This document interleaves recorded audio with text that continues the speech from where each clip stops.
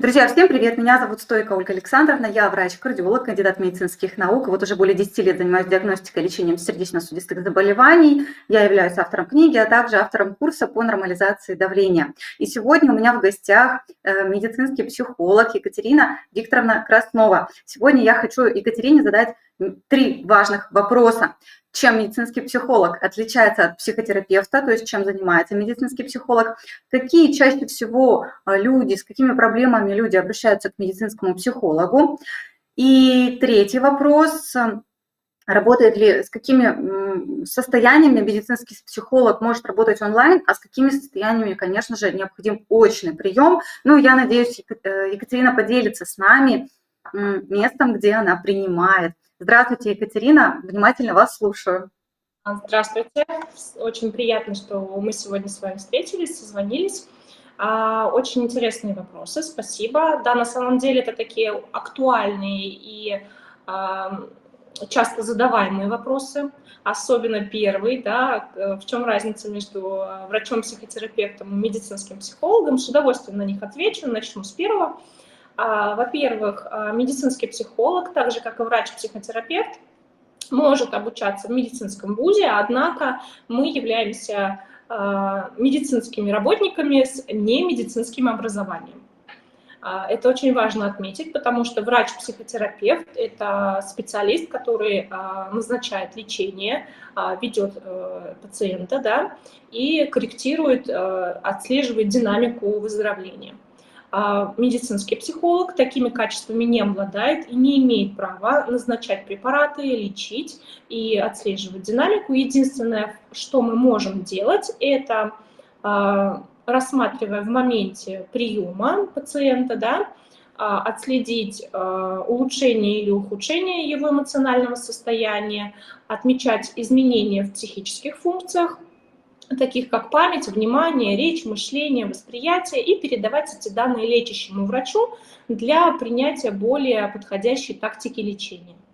И э, также медицинский психолог, работая в госучреждениях, э, занимается обследованием психолога, патопсихологическим обследованием для выяснение такой сопутствующей симптоматики при неврологических заболеваниях, да, при болезнях Паркинсона, при каких-либо травмах, которые задевали головной мозг.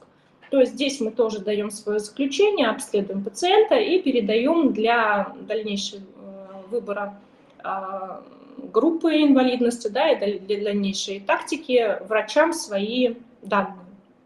Это единственное что нас отличает, в принципе, от э, врачей, которые находятся да, там, э, в клиниках или в госучреждениях.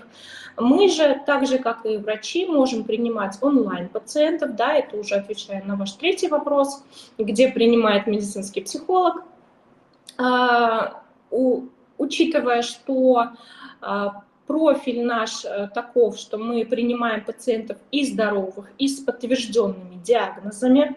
Мы не устанавливаем диагнозы самостоятельно, мы лишь э, учитываем выставленный врачом диагноз да, при общении, при консультировании. Мы можем и я в том числе, я также делаю, принимаю пациентов онлайн согласно протоколам когнитивно-поведенческой психотерапии, которая достаточно эффективна в этом плане одна из наиболее изученных тактик ведения онлайн-пациентов и дающая гарантированные результаты. То есть в этом плане онлайн вопросов нет. Он также эффективен, как и офлайн встречи. Mm-hmm. Да, мы можем говорить о том, что принимая пациента онлайн, я буду следовать протоколу, который четко прописан. Есть определенные моменты, которые мы исследуем вместе с пациентом да, в его эмоциональном состоянии. Соответственно, с чем отправляют ко мне врачи, да, или э, с чем ко мне могут обратиться самостоятельно э, пациенты, либо клиенты. Во-первых, это состояние тревожности, это состояние подавленности – это состояние, например, ничего не хочется делать, нет желания заниматься повседневными делами. Это как раз те самые актуальные, наиболее частые запросы в моей практике и в практике, в принципе, психологов, которые, э, с которыми мы работаем ежедневно. Также это может быть состояние после перенесенного заболевания. А, к сожалению, у нас случился ковид, да, и последствия ковида отслеживаются на многих ступенях развития, и на многих областях жизни человека они отразились. Но кроме ковида у нас есть и другие заболевания, да, есть травмы, бывают ДТП, либо какие-то события, которые в жизни человека оставляют свой след. Вот с ними также работают и психологи в том числе. То есть можно обратиться за помощью, можно обратиться за консультацией, а, получить э, данные, например, актуального состояния своего и сообщить их, например, на приеме у врача. То есть это будет наиболее подходящий вариант, когда медицинский психолог работает в связке с э, врачом узкой направленности, да, там врач-кардиолог, врач-гастроэнтеролог и так далее.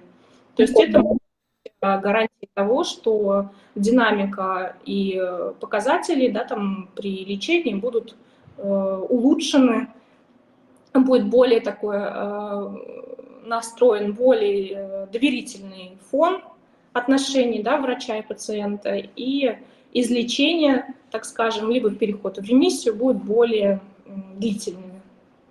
Ну, Спасибо, Екатерина. У меня к вам вопрос. Работает ли медицинский психолог с психосоматикой? Психосоматика – это когда врач говорит, что у тебя твой орган здоров органически, все хорошо, но есть функциональные расстройства этого органа, без разницы, это будет сердце, либо это чаще всего желудок, либо, ну, бывает, да, там головокружение у человека – и э, я понимаю, что ну, не нужны кардиологические препараты совсем этому пациенту и намекаю на то, что здесь психосоматика, скорее всего, иногда назначаю какие-то успокоительные, легкие транквилизаторы, рекомендую попринимать, э, и обратиться к психотерапевту либо к психологу. Э, ну, в общем, когда органика, органики нет, орган здоров, да, но функционально есть расстройство ввиду повышенного уровня тревожности, ввиду, возможно, каких-то депрессивных состояний. Вот что значит психосоматика. То есть э, ИБС нет, инфаркта нет, но сердце болит. То есть мы все покрутили, повертели пациента, исключили. И, кстати, аритмии, экстрасистолии тоже бывают часто на фоне а, невроза какого-то. Работаете ли вы с этим?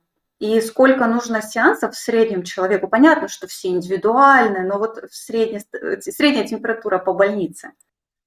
Ну, если мы говорим про э, психосоматические проявления, то это на самом деле сейчас такая актуальная тема.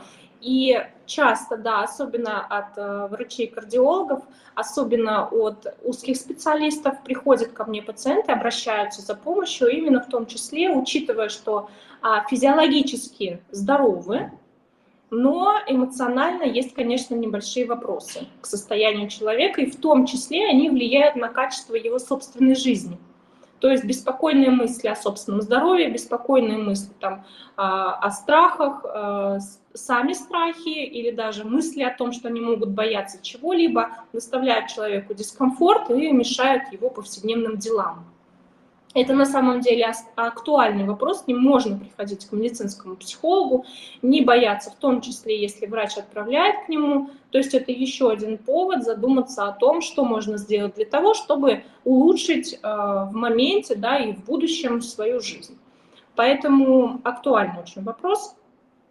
Э, если мы говорим про основные трудности, которые могут возникать, да, то это в первую очередь это ситуативная тревожность, это фоновая тревожность, которая может развиваться у человека вследствие каких-либо ему, казалось бы, незначительных событий, да, на которые он не обратил вначале внимания, но они спровоцировали такую череду мыслей, череду убеждений, которые э, ежедневно всплывают в сознании, ежедневно а, человек об этом думает, он об этом тревожится, это очень энергозатратное дело на самом деле, и на фоне этого могут возникать, да, проходящие или транзиторные, так скажем, да, а, боли там в плече, боли в руках, боли в предплечьях, э, боли в спине, на которые человек может обратить внимание, а может быть это из-за болезни, например, желудка, да, или сердца, или еще что-то болит, но никак не связывая это со своим эмоциональным состоянием. Хотя а, я бы хотела обратить внимание на то, что если человек самостоятельно, а, пациент да, самостоятельно может задать себе вопрос, что а что спровоцировало мое состояние, да, и найти на этот а, вопрос самостоятельно ответ, то можно сказать о том, что а, есть вариант, что это все-таки эмоциональное состояние. Есть вариант, что это все-таки вопрос э, именно о состоянии тревоги, а, спровоцированным какими-то факторами. уже на приеме у меня, да, у медицинского психолога, задавая определенного рода вопросы, я могу выяснить. Либо проходя какие-то опросники, да, подбирающие, которые я подбираю по ситуации, мы уже можем выяснить, что да, это на самом деле вот проявление тревожности, да, это на самом деле проявление, например, депрессивного состояния, либо еще каких-либо, которые мне необходимо будет исключить при первой встрече. То есть э, в этом плане а, открытость, желание решить свою проблему, желание выяснить да, причину своего состояния, это прям вот э, первые три таких столпа, которые спровоцируют как раз быстрейшее излечение и поиск проблемы. Спасибо. А все-таки сколько, ну вот, например, человек в тревоге. Угу. Вот к вам, ну, давайте разберем средний, сред... вот ко мне чаще всего с гипертонией обращаются, даже на очном приеме. А у вас чаще всего с чем обращаются? Какие жалобы у пациента? Ну, чаще всего, конечно, беспокойные мысли, которые не дают собраться, это трудность концентрации, это отвлечение в каком-то моменте, например, если работа сопряжена с э, повышенным вниманием, да, а, беспокойство или тревога, или состояние, может быть, даже до паники доходить, отвлекает от выполнения своих обязанностей и влияет на работоспособность, да, или на личную жизнь пациента. Это в первую самый такой основной, чаще всего встречающийся запрос. А, ну, могу сказать так, что, конечно, многое зависит от желания человека, как я уже говорила, да, а, выяснить и разобраться в причинах своего э, поведения или своих вот мыслях. Но уже на первой консультации я уже направляю вектор внимания пациента на то, что вот посмотрите, обратите внимание вот на эти моменты, обратите внимание вот на эти моменты. И уже начиная с первого приема, с первой консультации, мы уже можем говорить о том, что нам будет достаточно, например, двух-трех встреч либо там, да, будет работа сложная, там 5-10. Но это все происходит исключительно э, оценивая состояние человека, понимая, что, например, здесь вот нужно подключить фармакотерапию, да, здесь нужно, подклю... здесь нужно передать данные врачу, который решит уже вопрос да, о фармакологическом каком-то сопровождении. Но в любом случае три, три встречи, три консультации являются такой базисной основой того, что человек поймет, что с ним происходит и что что-то не так. Ну, это очень здорово, что уже на первой встрече человек получает облегчение. А, это просто замечательно.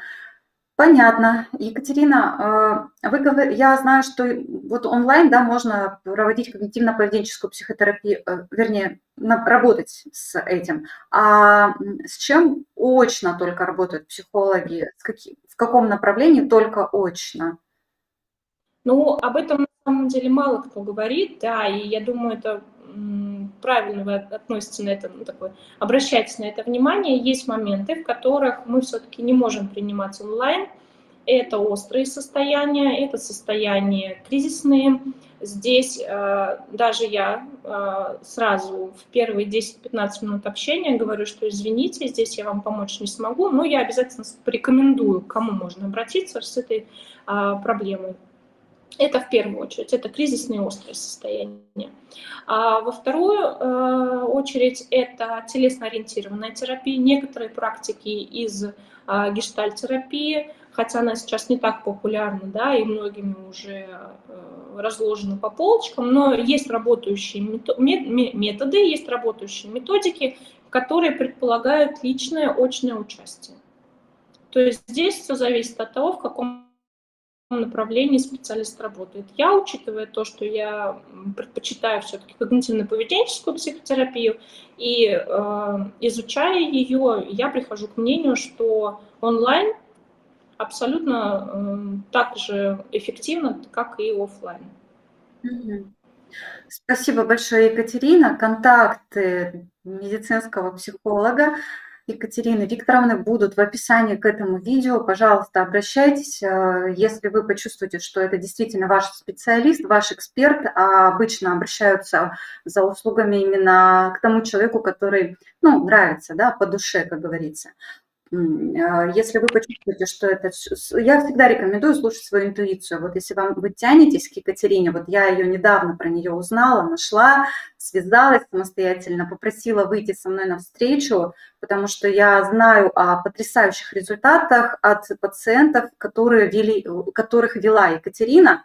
Поэтому я говорю, Екатерина, у меня каждый второй в тревожном состоянии, давайте с вами запишем, пожалуйста, видео. Вот, э, Екатерина, я вас благодарю за то, что вы согласились со мной записать видео, чтобы как можно больше людей быстрее стали здоровы, избавились от тревожных мыслей, а, от панических атак, от различных фобий, и жили счастливо и долго от скачков того же артериального давления, потому что немаловажные эмоции сильно влияют на наше с вами давление и различные стрессовые ситуации. Екатерина научит, как проживать стрессовые ситуации, на, как научиться жить с ними, работать с ними. Понятно, что никто не убережен а, от стрессов, но и все же вместе с тем э, можно э, стать более стрессоустойчивым благодаря определенным методикам. А эти методики мы изучаем у меня на курсе по нормализации давления, тоже есть эти методики, но и в том числе в индивидуальной работе с клиническим психологом. Если у вас будут вопросы, обязательно пишите их под видео, я отвечу на эти вопросы. Записаться ко мне на консультацию также можно по ссылке, которая находится в описании к этому видео. Всем большое спасибо, пока-пока.